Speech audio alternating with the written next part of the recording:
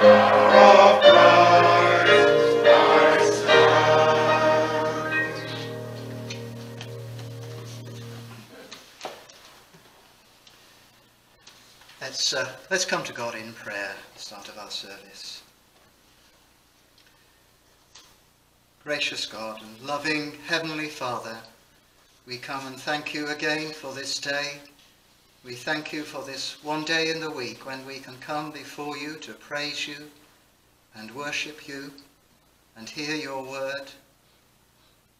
And we pray that you will help us to do that this evening. We thank you we come to one who did enter into our world as a helpless babe, that one who lived that perfect, that spotless life of righteousness before you, whose one aim in life was to dwell in your presence, to do your will, to dwell in your house.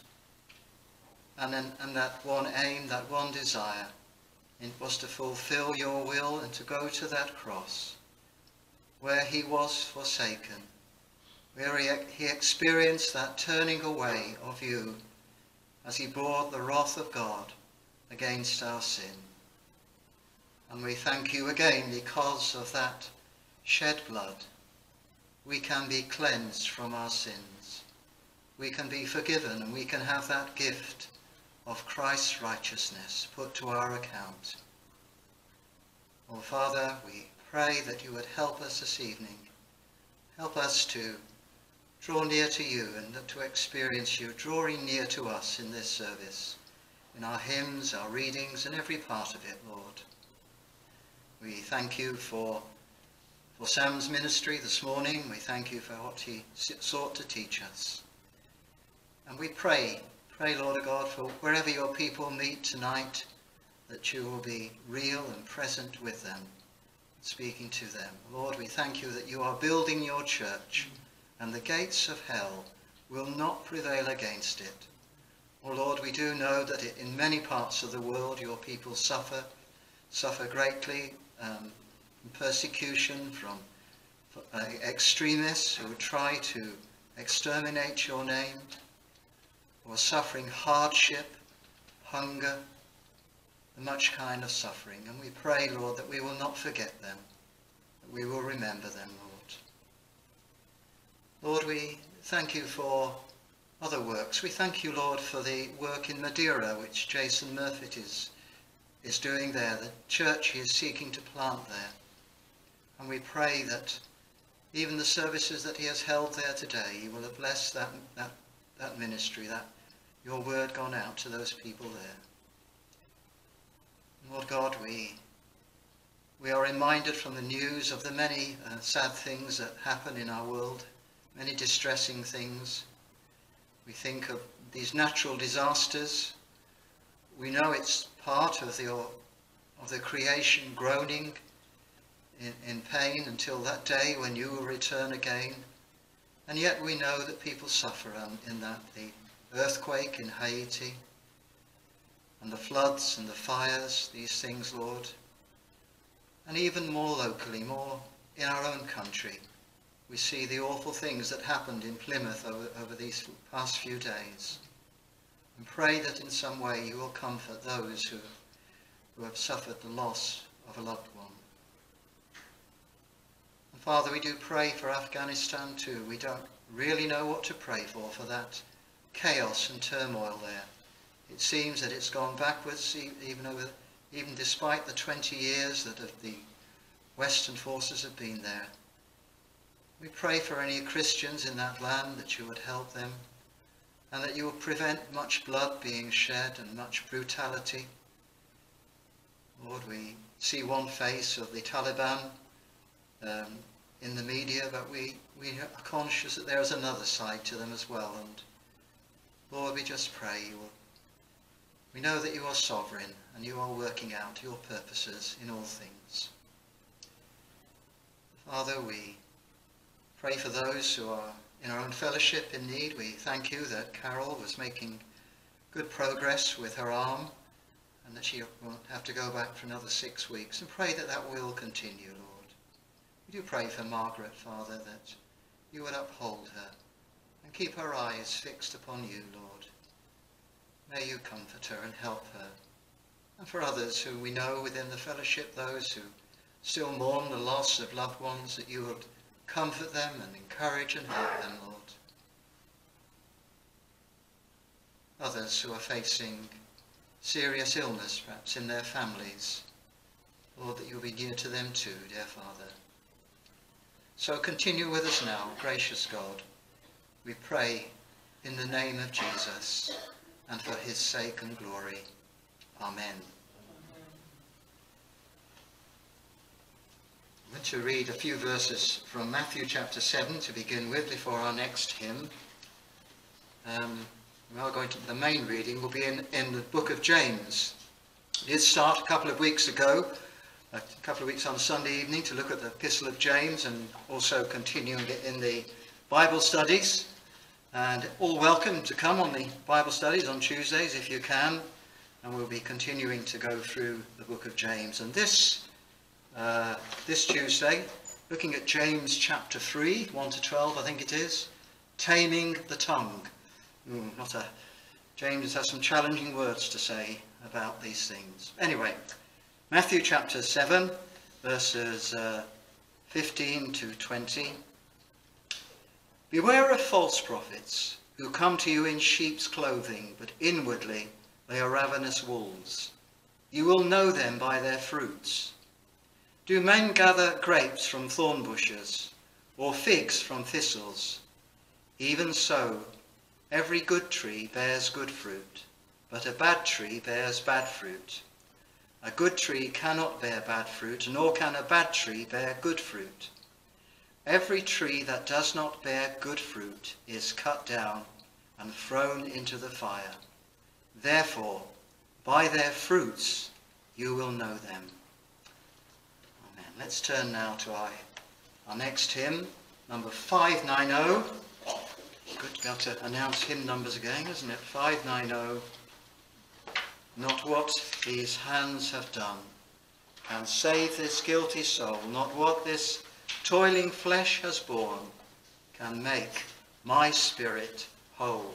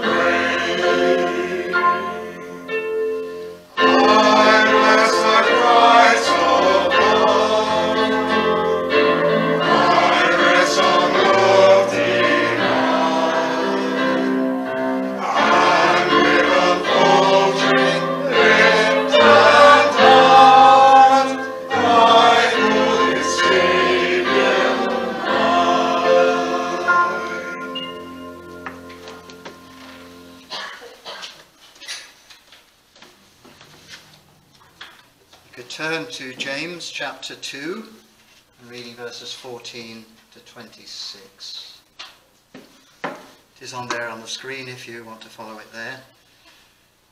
The chapter begins with these words My brethren, do not hold the faith of our Lord Jesus Christ, someone who professes faith in the Lord Jesus Christ, the Lord of glory, with partiality. Or it can be translated the faith of our Lord Jesus Christ, who is the glory, with partiality. And those first few verses deal with people having prejudices, having um, partiality or showing favoritism.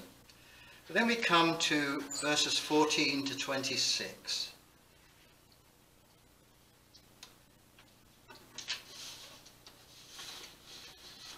Just read. What does it profit, my brethren, if someone says he has faith, but does not have works? Can faith save him? If a brother or sister is naked and destitute of daily food, and one of you says to them, Depart in peace, be warmed and filled, but you do not give them the things which are needed for the body, what does it profit? Thus also, faith by itself, if it does not have works, is dead. But someone will say, You have faith and I have works. Show me your faith without your works, and I will show you my faith by, by my works. You believe that there is one God. You do well. Even the demons believe and tremble. But do you want to know, O foolish man, that faith without works is dead? Was not Abraham, our father, justified by works when he offered Isaac, his son, on the altar? Do you see that faith was working together with his works, and by works faith was made perfect? And the scripture was fulfilled, which says, Abraham believed God, and it was accounted to him for righteousness. And he was called the friend of God. You see then that a man is justified by works, and not by faith only. Likewise, was not Rahab the prostitute also justified by works when she received the messengers and sent them out another way? For as the body without the spirit is dead, so faith without works is dead also. And we'll come to that passage in a moment. We'll turn again to our hymn book, or rather this time it should be on the screen, uh, this time if we sit down for, for it, it's hard to see the screen if some of us are standing, but it's uh, just in the hymn book, Search me, O God, and know my heart today. I'll play the tune all the way through. John. Yes, please, yes, please play the tune through.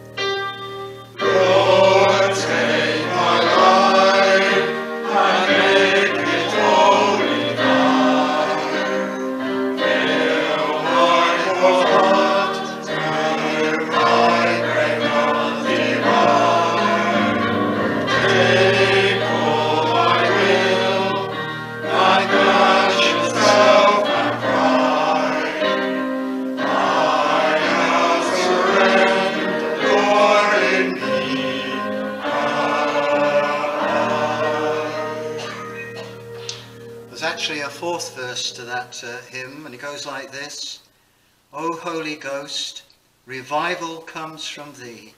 Send a revival, start the work in me. Thy word declares, Thou wilt supply our need. For blessing now, O Lord, I humbly plead. And I understand that the writer of that hymn was someone who knew, who wrote a lot about revivals, Edwin Orr. Let's come now to uh, our passage.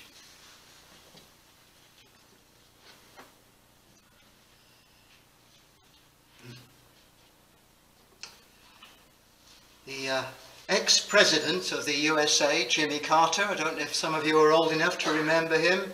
He was a peanut farmer.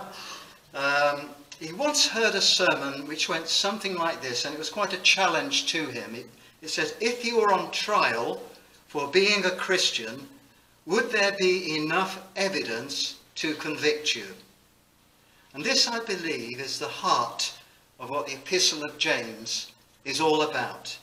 If you claim to be a Christian, then does your life live up to what you profess? Is there enough evidence to convict you? Chapter 1, James refers to the, the importance of not only hearing God's word, but also being a doer of the word. In a way, he was echoing Jesus' parable of the sower. You may know the parable of the sower, that there are four soils described there, four responses to the gospel. And it's only the fourth one which brought forth any fruit. Uh, the, the fourth type, the person who hears God's word, it goes into his heart, he believes it, and he does it, and it pr produces fr fruit, some 30-fold, some 50-fold, some 100-fold. So I want to look at this passage in James under well, two headings, or three headings, but the two headings are a claim to faith and authentic faith is never alone. But first we've got to try and unravel a problem. The uh, 16th century reformer, Martin Luther, um, some of you may, a couple of years ago in 19, 2017, we remembered 500 years since his, since his life here in a sort of dramatization. But Martin Luther famously called the book of James an epistle of straw. I think he revised his view later on, but he did at one time. And, and, and at first he didn't think it should be included in the New Testament, in the Bible. Why, why did he think this? Well, I think we need to consider something of Luther's experience very briefly he grew up in medieval Germany. He didn't have a Bible of his own in his own language. It was in Latin, the Bible.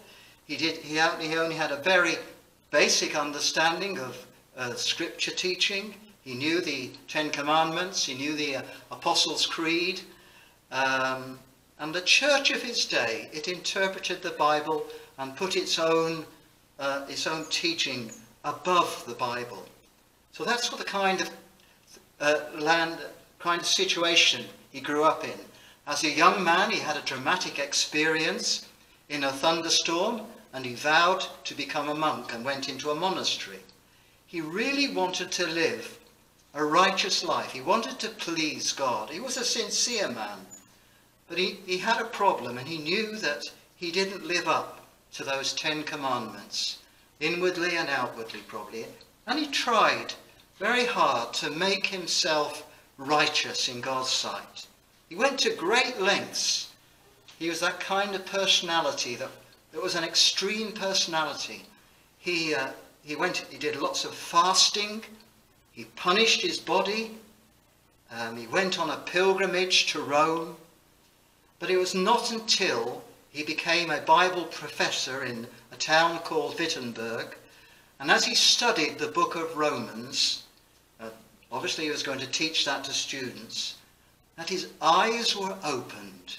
And he came to these verses in Romans chapter 1, verses 16 and 17, and he read, For I'm not ashamed of the gospel of Christ, for it is the power, the dynamite of God to salvation for everyone who believes, for the Jew first, and also for the Greek. And then Paul goes on in these words, For in it, that is in the gospel, the righteousness of God is revealed from faith to faith, as it is written, the just shall live by faith. And he understood now, at last, that he didn't have to make himself righteous by his efforts, but, but by believing on the Lord Jesus Christ, believing in his death for our sins on the cross, that our sins are put to Christ's account, and his perfect righteousness is credited to us, is given to us. This is a wonderful truth, and we sometimes sing about it in our hymns. For instance, Jesus, thy blood and righteousness, my beauty are, my glorious dress. And the term we use for this is taken from the law courts, from the legal system, and it's called justification. It means that a believer, they're not only acquitted, forgiven for their past sins, but they are clothed in the perfect righteousness of Christ. So when Luther came to the book of James, he couldn't see anything in there about the justification that he was thinking of in Romans. In fact, James does use the word justification in verses 20 and 24, but he's not using it in the same way that Paul uses it in Romans. You know, those of us who live in Frome we know there's a, a, little street in the centre of the town called Cheap Street. It's got a little stream running through the middle of it, and I'm sure somebody afterwards can tell me what you call that stream. Um, but uh, if you were to stand at the top of Cheap Street, you would see it from one angle. And if you, I haven't tried this by the way, but you, you might try it sometime. And if you stood at the bottom of Cheap Street, you'll see it from a different angle. But you're looking at the same street. It's the same street and it's still got the same uh, little stream running through the mid middle of it. But it's looking at it from a different perspective. And this is what James is doing. He's looking at justification from a different perspective. It complements the doctrine of justification by faith alone, in Christ alone. So, but such a faith is never alone. It's accompanied by what James calls works, or if you prefer the NIV translation, deeds, good deeds. And so we, might, we must look at that in a moment. But first, let's consider someone who claims to have faith, or in this the bit there about Luther. A claim to faith. Now, I had a friend, he is, he's now in heaven, um, but sometimes he would come to me and he would discuss to me, used to discuss with me certain issues, questions he wanted to consider, and he called me his cardboard cutout. You may not think it's very flattering to be called a, a cardboard cutout. But it worked like this, that I was never really able to answer his questions, but, but as he asked the questions to me, it, all, it helped him to come to the answers that he needed. And here James, it's as if he sets up his own cardboard cutout.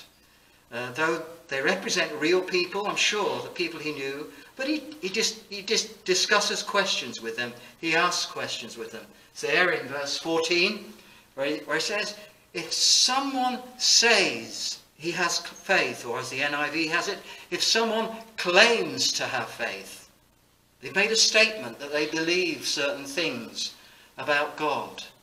Um, and so James goes on to argue, if you just, just say you have faith, that you believe certain things about God, about, about the Christ, is that enough to save you? Course, a person must come to believe certain things about the Lord Jesus, that he's the Son of God, that he came into this world to save sinners. But James is asking, in effect, has it made any difference in your life? And then he gives an example there in verses 15 to 17. Here is a brother or sister, and James is a very warm person to the people he's writing to. He loves to call people brothers and sisters. And this brother or sister, they're destitute, they hardly have any clothes on their backs, and hardly enough food to eat. And I'm sure that he knew Christians like that there in, in Judea and, and beyond, the people he was writing to. And this person has made a bold claim, who, who has made a bold claim to faith, they say, depart in peace, be warmed and filled. But he doesn't give them what they need for their bodies. And I think we must assume that he has the means to give that person food and clothing. So then James asks, what does it profit? This faith, thus also faith by itself. And if I might, I might paraphrase it like this, a mere claim to faith by itself, but does not have works, is dead. And then James introduces someone else who says, You have faith, and I have works. Show me your faith without your works, and I will show you my faith by my works. Again, this is a snatch of a conversation between James and his cardboard cutout. He just wants to underline the point. He just wants to, just to say you have faith, but, but without anything to show for it, is a hollow claim. It's like we say in the marriage service, what God has joined together, let not man put asunder. Faith and works should go together. Then to reinforce his point, he introduces demons. He's still dealing with those who make a claim to have faith. You believe there is one God. And that was a, the basic uh, tenet of faith of, of Jews, uh, the, the Shema as it's called, there is one God. Well, that's a good thing. Many people today don't believe there is a God, or they say they don't. Or they might believe in many gods, as in some countries of the world, like in, in some of the religions of the world, Buddhism, Hinduism. So yes, you do well to believe that there is one God, but you really haven't got any further than demons have. They aren't atheists. They believe in one God, and they tremble. Because one day the devil's troops are going to face God's final judgment. The demons that possessed the man called Legion in Luke chapter 8, they begged Jesus. They, they knew that they had to ask permission from him. He had such authority over them that he would not command them to go into the abyss. It was obviously a more fearful judgment for them than to go into the herd of swine which they asked permission to go into. But back to James. He is not saying that the presence of deeds, the presence of good works in a person's life, proves a person has faith. There are probably many people involved in humanitarian work, or let's say Oxfam or something like that, who don't probably have a true, living, real faith. And I think James is saying the absence of deeds may show the absence of faith. So James says to our cardboard cutout, cutout but do you want to know? And the word want is a strong word. It carries with it a determined purpose. You know, some people can just raise questions because they don't want to part with their sinful lives. So they will raise all sorts of questions. John Blanchard says that there's a challenge here for, a, for the Christian. Are you honestly willing to know the Word of God, to understand all its implications in your life, and to obey whatever God says to you through it? Well, James then gives us a couple of examples of what it means to have an authentic faith. So thirdly, an authentic faith is never alone. The two examples he gives are in verses 21 and 25. Firstly, there's Abraham, and that would appeal to his Jewish, re Jewish readers, the, uh, the father of the, of, of the faith, the founder of the faith there in Genesis. And then a non-Jew, a Gentile, Rahab, the prostitute or the harlot, who became a believer. Let's just look at Abraham first. In verse 21 it says he was justified by works. And in verse 22, faith was working together with his works. So where it says that Abraham, and where it says that Abraham's faith, faith was made perfect, does not mean that his faith was defective. Rather, it's saying that Abraham's faith was brought out into the open, and it was proved to be real by this staggering act of obedience. I mean, I've tried to show that James uses justified in a different way from how Paul used it. So if I put it like this, faith is authenticated. It's shown to be real by works, or to use the NIV's words, by, its, by deeds. That might be more understandable. Now we might ask, what does James mean by works or by deeds? People usually think of deeds or as good deeds, being kind to someone, coming alongside someone and helping them, encouraging them, visiting people in prison as Jim does, or using whatever gifts God's given you to help others. And I don't disagree with that. I think that is part and parcel of good works, of good deeds. But in Ephesians, uh, in Ephesians, after that well-known verse, verses 8 and 9, For by grace you have been saved through faith, that not of yourselves, it is the gift of God. Even the very faith is a gift of God, not of works, lest anyone should boast. Then Paul goes on to say in the next verse, to, to, the, that, to that person who has been saved, for we are his workmanship, created in Christ Jesus for good works, which God prepared beforehand that we should walk in them. But the works that James refers to, the deeds that James refers to in verse 31, they might, might seem rather unusual, rather out of the ordinary from what we would normally think of as good works. Because he refers there to when when Abraham offered Isaac, his son, on the altar. That's referring to Genesis chapter 22, where God tested Abraham to go and offer his son Isaac. The one whom God had said was, would be the one who would inherit the promises. All God's promises to Abraham were, were in that son who he, who is told to go and offer as a sacrifice. Well, what lay behind this? Well, I think we can see a man who believed God. If you compare, compare Hebrews 11 verse 19, Abraham believed that God could raise Isaac, Isaac up even if he was slain.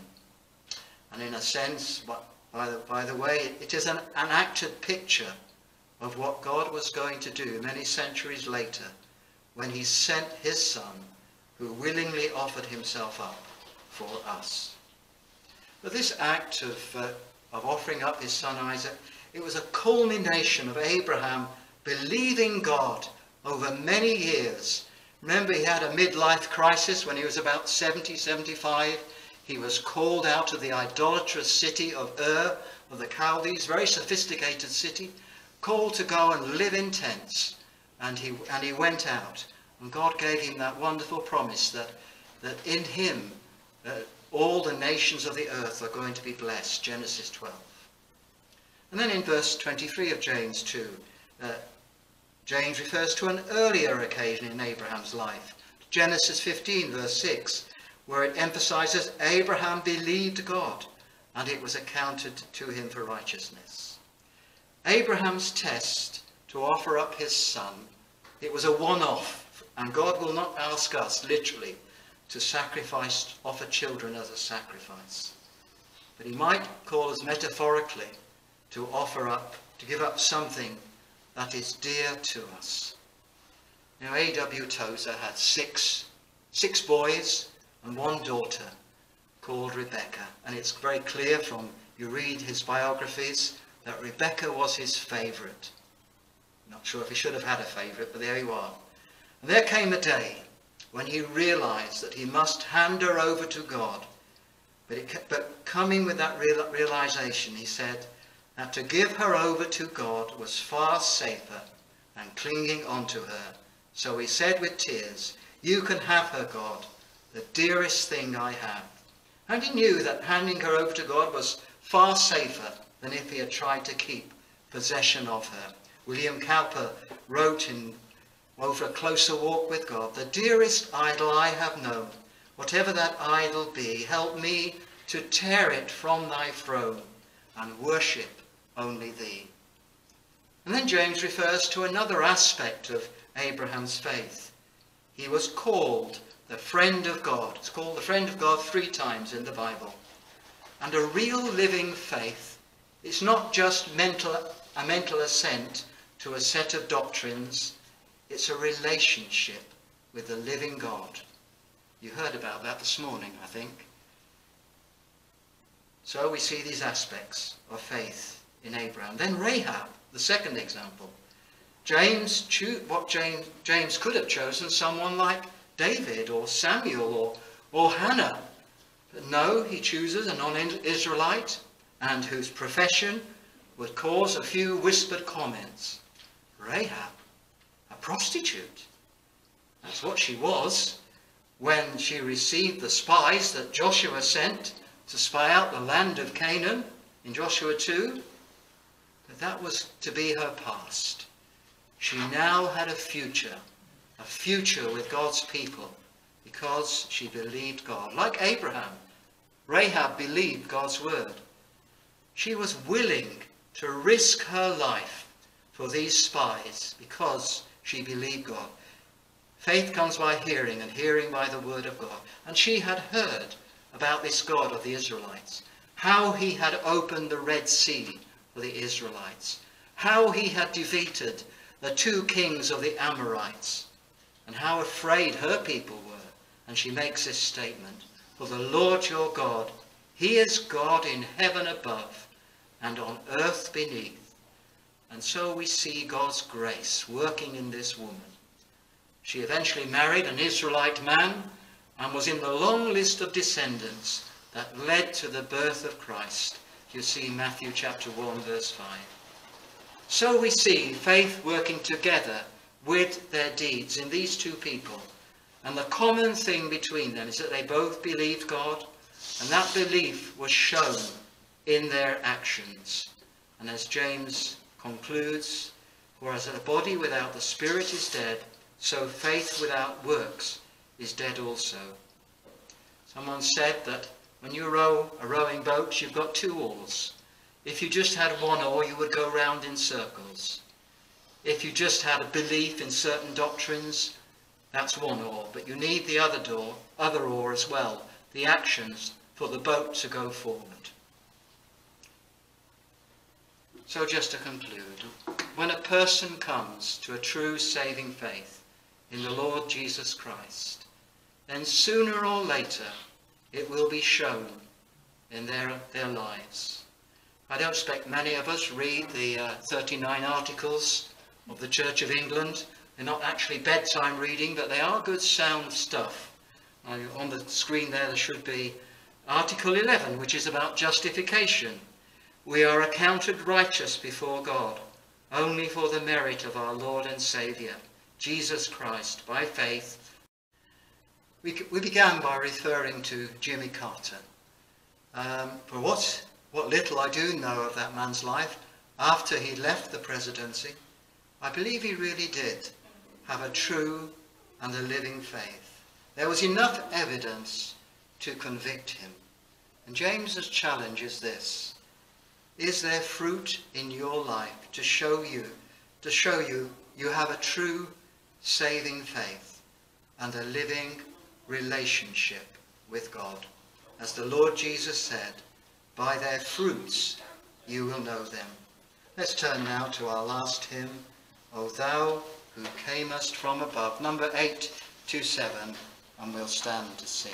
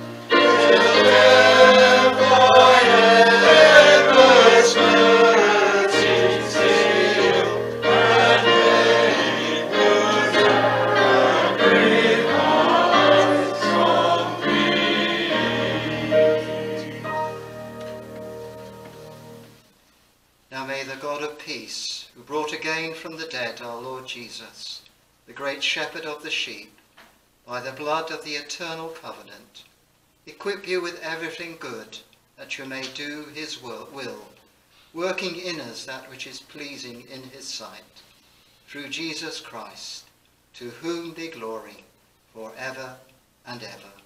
Amen. Amen.